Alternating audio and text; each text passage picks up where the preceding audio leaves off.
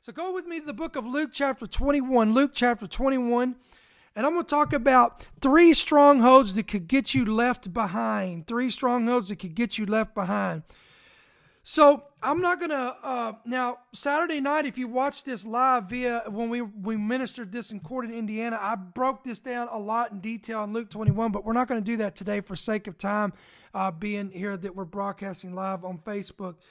Um, so when the disciples, let me give you a little bit of backdrop. Most of you guys who study eschatology or end times, you're going to know this already. So that's why I don't feel the necessity of uh, exhausting you with all the um, the the details of Luke 21 and this again you can find this in Matthew 24 and also in Mark 13 but when the disciples came to Jesus and asked him what would be the signs of your coming and the end of the age the Lord began to uh, begin to expound on what those signs would be. He talks about great earthquakes, he talks about famines, he talks about pestilence, he talks about wars, rumors of wars, he talks about nations against nations, kingdom against kingdom. He said false prophets would arise and deceive and be deceived. The, the love of many would wax cold. He talks about there be great and fearful signs from heaven um, and that men's hearts would fail them for fear of the expectation of things that are coming upon the earth. He talks about persecution would arise from your own home and from your own household, from your own loved ones, and you will be hated by all men for my name's sake. So he goes through all this, but then it's interesting. He gets down here, listen to this. He gets to verse 34. Let me go to 33. Heaven and earth will pass away, but my words will by no means pass away. And take, here it is, verse 34. This is where we're going to home in today on these three strongholds.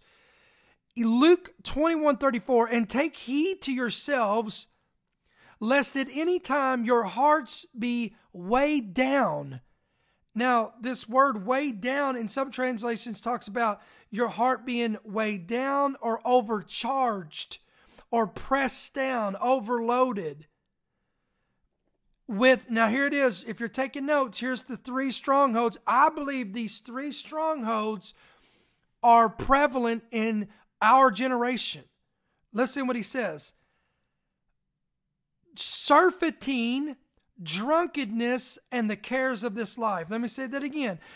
Beware lest at any time your hearts. Now, I want to stop there well, let's go back to the context of the scripture. Who is Jesus talking to here? He's not talking to them. He's not talking about to the world. He's not talking to the unregenerated. He's not talking to unbelievers. He's talking to us. That he's talking to disciples, followers of Christ, believers.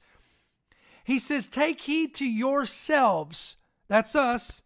Lest at any time your hearts, that's our hearts, be weighed down, and it, here it is, with surfeiting, drunkenness, and the cares of this life. Now, we're going to break down these three things, but why is this important and why did he emphasize us taking heed to, our, to ourselves that our hearts not be weighed down with these things? Watch this. Here's why. So that so that day come upon you unaware. What day? The coming of the Lord.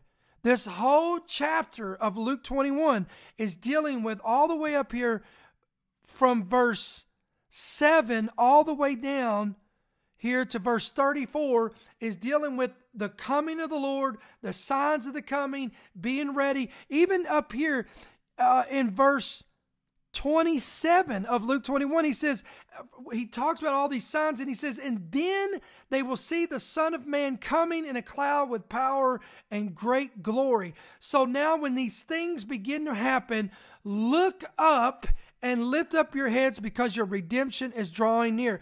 So when he says, uh, take heed to yourselves that these three things don't weigh you down, that that day come upon you unaware. What day is he talking about? He's talking about the coming of the Lord. All right? Now watch. Verse 35. For it, what is it? The coming of the Lord. For it will come as a snare on all those who dwell on the face of the whole earth. Now, again, I, when I was in uh, Indi- in Corydon this weekend in Corydon, Indiana, I, I talked about the differ- the differential of this thing, the difference here. The difference is it's going to come upon it's going to come as a snare upon the face of the earth. It's going to come as a snare to those who are unregenerated, those who are blind by the God of this world, those whose hearts have not been uh, re- transformed by the gospel of Jesus Christ. Because the Bible says that those who are unregenerated, those who are unbelievers, the heathen, they're walking in darkness and they're groping in the new, in the darkness, and they they know not where they go and they stumble and they fall. But the path of the just Come on, somebody. It's like a bright light. It's like a shining lamp that brights and gets brighter evermore unto the perfect day. His word is a lamp unto our feet and it's a light unto our path. We are not as those in the darkness, but we are children of the light. So he says this day is going to come as a snare upon all those on the face of the earth. Now, watch, he shifts gears. Watch, therefore, now he shifts back to us. Watch therefore and pray always that you may be counted worthy to escape all these things. Now stop. What are all these things? Now that's now if we if we if we didn't do a deeper understanding of this or deeper uh, uh, word study on this and break this down line on line, precept on precept, and here a little, there a little, then we could say, well, this is impossible because we can't escape earthquakes. There's always been earthquakes since the beginning of times. We can't escape famines. We can't escape pestilence. We can't escape wars. We can't escape dis- dis- escape deception. That's true. But when when he says this, he says this generation that sees all these things will by no means pass away until all things be fulfilled. What he's saying here, guys, is Here's the truth. This is what you always get with all the skeptics on this. All the skeptics want to come and say, We've always had earthquakes. We've always had disasters. We've always had famines. We've always had pestilences. We've always had wars and rumors of wars. I've heard this for 30 years. I've heard this for 50 years. I've heard this for 60 years. This is nothing new.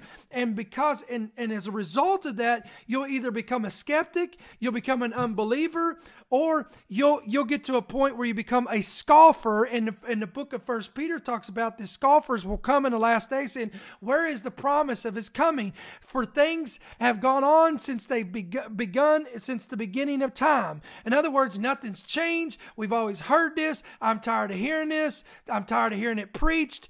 Uh, it's irrelevant. We don't need to hear it, be, hear it preached anymore. But what this is is a failure to rightfully divide the word and understand the revelation of the Lord Jesus Christ and the words that he spoke in Matthew 24, Luke 21, and Mark 13. First of all, he says these things will come as birth pangs or sorrows.